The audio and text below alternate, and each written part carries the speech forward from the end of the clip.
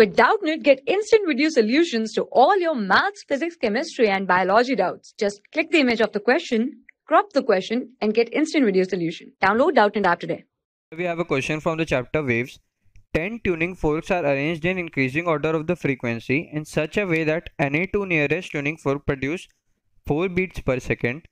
The highest frequency is twice that of the lowest. The possible highest and the lower frequencies are.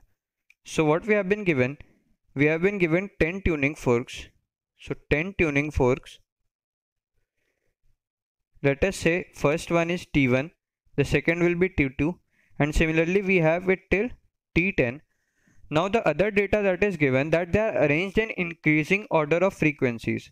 So if t1 is f1 the number of beats produced are 4 and they are arranged in increasing order. So it means t2 will be f1 plus 4 and similarly if you have a look at t10 so by ap you will know that t10 will be f1 plus 9 into 4 that is 36 that is 10 minus 1 into d d is 4 so it will be 36 so the next data that is given is the highest frequency is twice of the lowest. So here the highest frequency is f1 plus 36 and it is twice of the lowest frequency that is f1 so from here solving we get f1 comes out as 36.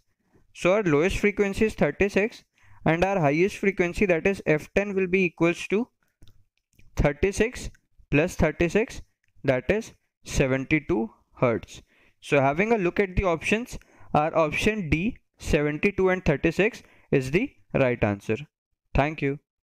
For class 6 to 12, IIT JEE and NEET level. Trusted by more than 5 crore students. Download Doubtnut app today.